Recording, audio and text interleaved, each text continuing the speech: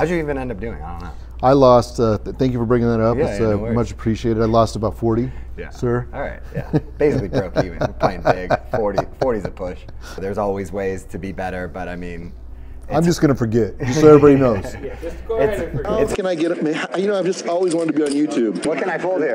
Bad flop there for Persson. Garrett checks back, middle pair. wasn't expecting you to do Turns two pair. Look at that. Garrett. Persson's not going to take the bait. It's a, it's a calculation. I raise. Continuous. Oh boy. Five? You're at 30, you have to get. Lock in. What if I would have bet 25K? I said raise. I'll see you on the river. I'll call him.